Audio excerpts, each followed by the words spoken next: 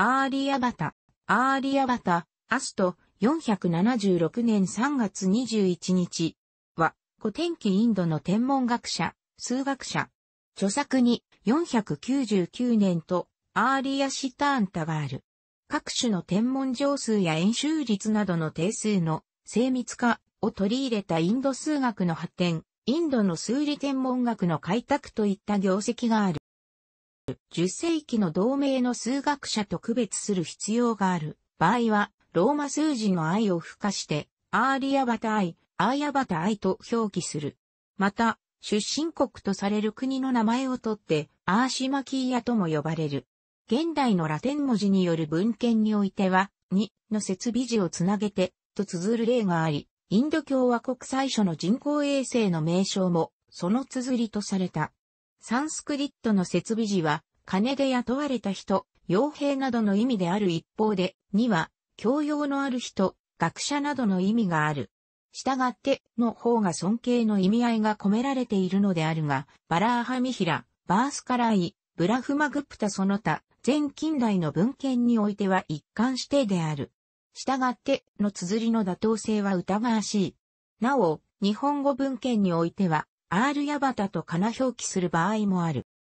アーリヤバタが活動したのは、西暦紀元500年前後のグプタ王朝である。グプタ朝においては、西方世界との文化的接触に影響を受けての天文、数学が復活した。5世紀から10世紀頃までのインド数学研究の中心地は、クスマプラ、ウッチャイニー、マイソールにあり、アーリヤバタが活躍したのはクスマプラである。クスマプラとは、グプタ朝の首都であったパータリプトラ、現ビハール州パトナのことで、5から6世紀に繁栄を極めたナーランダー大学があった。ナーランダー大学には大きな天文台があり、アーリアバタは同大学の学長であったとみられる。アーリアバティアの第3章には、世界がカリユガに入って以来3600年になる、この年、23歳でこれを書いたという趣旨の記述がある。カリユガ紀元3600年は、西暦紀元499年にあたるため、アーリアバタの生年は、西暦476年と推定されている。アーリアバタの生誕地について、19世紀の古い研究では、断片的な修行の解釈に基づいてクスマプラ、生まれではないかと憶測されることもあったが、20世紀以後の研究では、アーリアバティアに注釈した7世紀の数学者が、アーリアバタをアーシュマーやアズマッケアと呼んでいることから、アシュマカの生まれであると考えられている。アシュマカは、ガウタマシッタールタが生きた時代のアッサカ国にあたる地域である。なお、ケーララ学派の数学者たちが、アーリアバタは、ケーララからクスマプラに招聘されたという説を唱えることがあったが、アーリアシターンタがケーララに伝わっていないことなど、総合的な観点から疑わしい。後期グプタ王朝の王の一人ブダグプタは、大東西域キマキ宮で現状が、五法の王、仏デカサタの名で伝えるマガダ国の王と同一人物であると考えられる。鋳造貨幣の刻印を根拠に確認できるブダグプタの統治年代の最も遅い年が西暦494年、他のグプタの王名が現れる。碑文資料が指し示す直近の年代が510年であり、アーリアバタがアーリアバティアを著したのが499年で、あることから、アーリアバタがクスマプラにて活動した時期は、ブダグプタの治世下であったと推定される。後期グプタ王朝の歴史については、衰退ないし分裂したであろうことは明らかであるが、不明な点が多い。しかしながら、の石中碑文、ダーモーダルプルの銅板名文、マトラー湿度の仏彫り碑文などの証拠に基づくと、ブダグプタ時代のグプタ朝の半島は、東は北ベンガル、西はマールワー地方、北はカナウジ国あたりまで回復しており、南はナルマダー川流域あたりでと接していた。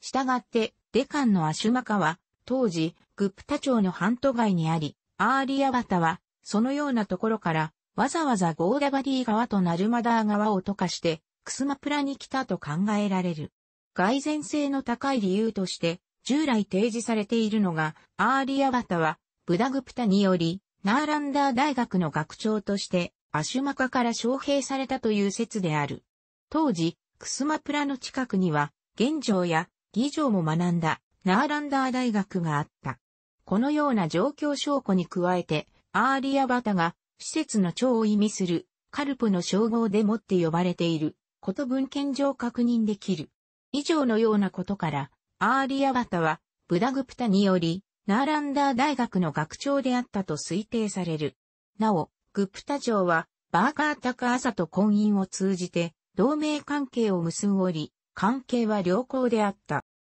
紀元前4世紀から紀元後5世紀までのインドの天文学及び数学について概述する。ベーダ時代には宗教的な区議を実施する必要性から27または28の静粛を基準に太陽と月の動きを観測する天文学生じた。これらの知識はガニタ蒸気車と呼ばれる天文学の知識としてまとめられ、ベーダの補助学となった。アーリアバティアは現代に伝わった唯一の著書であるとともに、著者名が判明しているインドの数学書の中で最古のものである。7世紀や1444-1544が注釈を書いた。アーリアバティアは革新的な内容であったが、伝統と妥協しているところもあるとされる。林、1993は妥協点の一つに、ジャイナ教で重要な概念とされる宇宙論的時間概念が含まれる点に目し、パータリプトラはかつて、紀元前4世紀ジャイナ教の聖典結集が行われたジャイナ教学の中心地であり、アーリーアバタの時代前後には、ジャイナ教徒が数学分野で活躍していたことなどから、アーリーアバタとジャイナ教徒の学者との接触があった可能性を指摘する。6世紀のバラーハミヒラなど多くの天文学者の著書からアーリアシターンタという天文書が存在したことが確実視される。ただし、現代には伝わっておらず、正確な内容は不明である。題名は、アーリアバタの天文学、シッターンタを意味する。アーリア・シターンタは7世紀の北、インドで最高の流行をもたらした。アーリア・バタの批判者、ブラフマ・グプタは、これを非難する意図を込めて、甘美な砂糖で調理した食物を意味する、カンダカーディアカという題名で、アーリア・シターンタの要約版作るほどであった。によると、アーリア・シターンタは、アンドラプラデーシュ州、インドの北西部からイランにかけての地域、そしてアッバス朝の宮廷に伝わった。カンダカーディアカは、アラビア語に訳されるとき、アルイコール、カンドという署名になって、イスラーム世界で天文計算の簡便な手引き書として広く用いられた。インドに10年間滞在して、インドの科学技術をイスラーム世界に伝えたペルシアの学者ビールーニーもカンダカーディアカを解約した。アーリアバタの弟子としては、ラータデーバ、パーンドゥランガスバーミー、ニシャンクの3人の名前が伝わっている。このうち、ラータデーバは、バラーハミヒラによると、東ローマ帝国に伝わったギリシア数学を紹介するとの注釈書を書いた。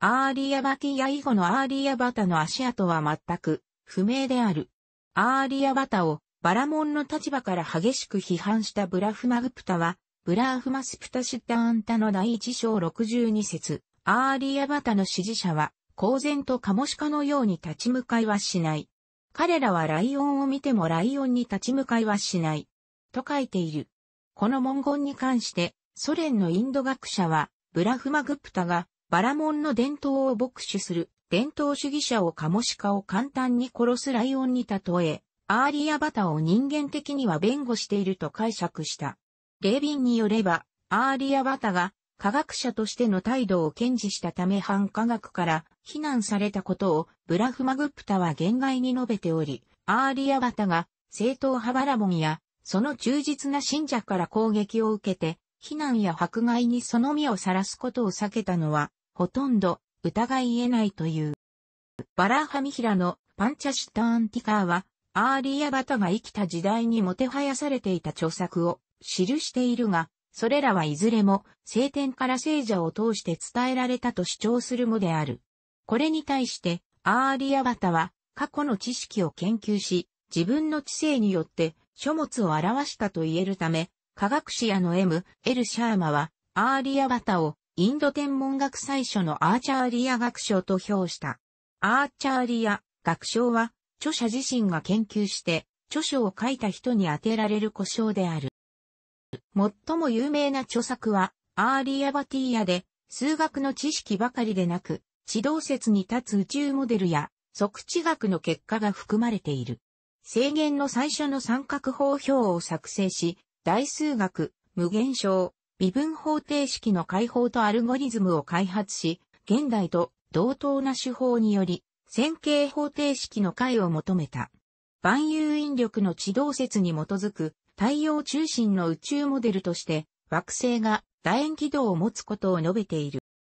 アーリアバティアはサンスクリット語で書かれた123連の韻文からなる。アーリアバタの著書に記されている知識には以下のものが含まれる。アーリアバタの研究はバラーハミヒラやバースカラーイ、ケーララ学派など後世の研究者たちに影響を与えた。アーリアバタの数学、天文学の著書は11世紀のアラビアの数学者、アブ・ライハー・ビールーニーによって研究された。ビールーニーの研究によれば、同名の二人の数学者がおり、年長のアーリアバタが天文学、数学の優れた著作を残したとされるが、近年の研究では、同一人物とする説もある。楽しくご覧になりましたら、購読と良いです。クリックしてください。